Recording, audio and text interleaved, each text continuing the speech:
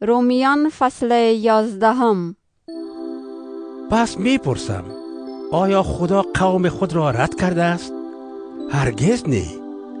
خود من اسرائیلی و فرزند ابراهیم و از قبیله بنیامین هستم. خدا قومی را که از ابتدا برگزیده بود رد نکرده است.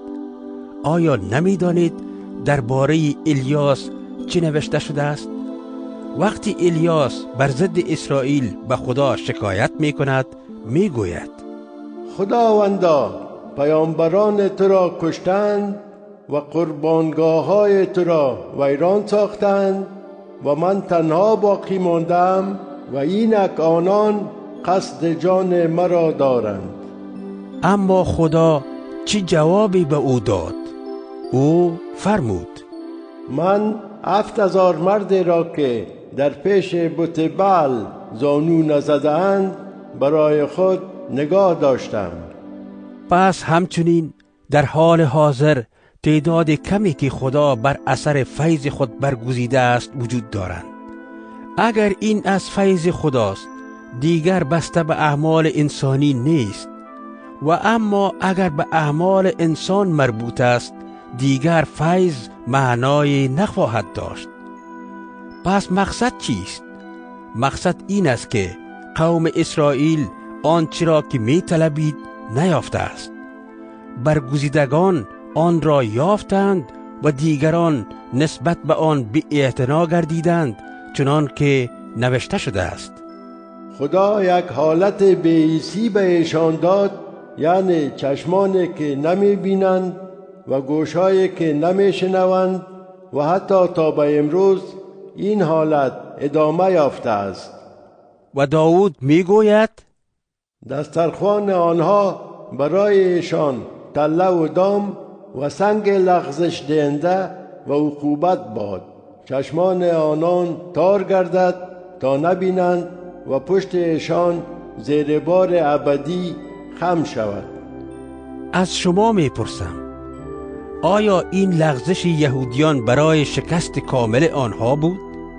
هرگز نه بلکه تا در اثر خطای آنها نجات به غیر یهودیان برسد و این باعث رشک و حسادت آنان شود. حال اگر خطای آنها موجب دولتمندی جهان و شکست ایشان موجب سعادتمندی ملت ها گردیده است گمان کنید این برکات چقدر بیشتر خواهد بود. هرگاه تعداد یهودیان به کمال برسد. اکنون ای غیر یهودیان روی سخن من با شماست و چون خود من رسول برای غیر یهودیان هستم به ماموریت خیش افتخار می کنم شاید با این روش بتوانم حسادت قوم خود را برانگیزم و از این راه بعضی از آنان را نجات دهم زیرا اگر رد شدن آنها موجب مصالحی جهان با خدا شد برگشت آنان چی نتیجه جز رستاخیز از مردگان خواهد داشت؟ اگر اولین مشت خمیر پاک و مبارک شده باشد بقیه آن نیز مقدس است.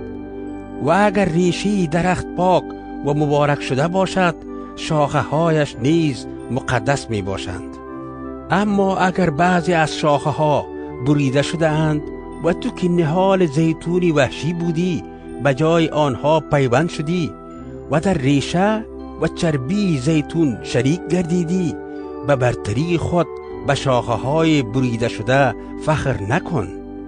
و اگر فخر می‌کنی به خاطر داشته باش که تو حامل ریشه نیستی بلکه ریشه حامل تو است.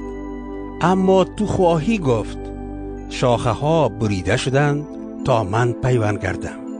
درست است ولی آنها به علت بی ایمانی بریده شدند و تو به وسیله ایمان در آنجا میمانی. پس مغرور نباش بلکه بترس زیرا اگر خدا از بریدن شاخه های طبیعی خودداری نکرد از تو نیز صرف نظر نخواهد نمود. پس مهربانی و سختگیری خدا را فراموش نکن. او نسبت به آنانی که دور افتادند سختگیر است اما نسبت به تو مهربان است. به شرط اینکه در مهربانی او بمانی وگرنه تو نیز بریده خواهی شد. اگر یهودیان نیز در بی ایمانی خود پافشاری نکنند دوباره پیوند خواهند شد. زیرا خدا قادر است که آنان را دوباره پیوند نماید. زیرا اگر تو که از زیتون وحشی بریده شدی و به طور غیر طبیعی به زیتون اهلی پیوند گردیدی چقدر آسان تر است که این شاخه ها به درخت همجنس خود پیوند شوند. ای برادران برای اینکه شما گرفتار خود پسندی نشوید می خواهم حقیقتی را برای شما فاش سازم. و آن این است که یک حالت بیهستی روحانی موقت قوم اسرائیل را فرا گرفته است. تا آن زمانی که تعداد مردم ملت ها که قبلا معین شدند تکمیل گردد و بعد تمام قوم اسرائیل نجات خواهند یافت چنان که نوشته شده است. نجات دهنده از سیون خواهد آمد. و بیدینی را از خاندان یعقوب برخواهد داشت و در آن انگام که گناهانشان را برطرف سازم این پیمان را با آنها خواهم بست. از لحاظ انجیل یهودیان دشمنان خدا هستند و این به نفع شماست. اما از لحاظ انتخاب خدایی به خاطر اجدادشان هنوز محبوبند زیرا نعمتهای خدا و دعوت او برگشت ناپذیر است. ای غیر یهودیان همانطور که شما زمان نسبت به خدا نافرمان بودید ولی اکنون به سبب نافرمانی یهودیان رحمت یافته اید همچنین در حال حاضر آنها یاغی هستند تا با وسیله آن رحمتی که به شما رسیده است آنها نیز از این به بعد رحمت یابند. زیرا خدا تمام مردم را گرفتار نافرمانی کرده است تا بر همه رحم فرماید. دولتمندی خدا چقدر عظیم و حکمت و معرفت او چقدر عمیق است. هدفهای او غیر قابل درک و راههای او غیر قابل فهمند زیرا کیست که افکار خدا را درک نموده؟ یا کیست که مشاور او بوده است؟ کی چیز به خدا تقدیم کرده است تا آن را از او پس بگیرد؟ زیرا سرچشمه و وسیله و مقصد همه چیز خداست.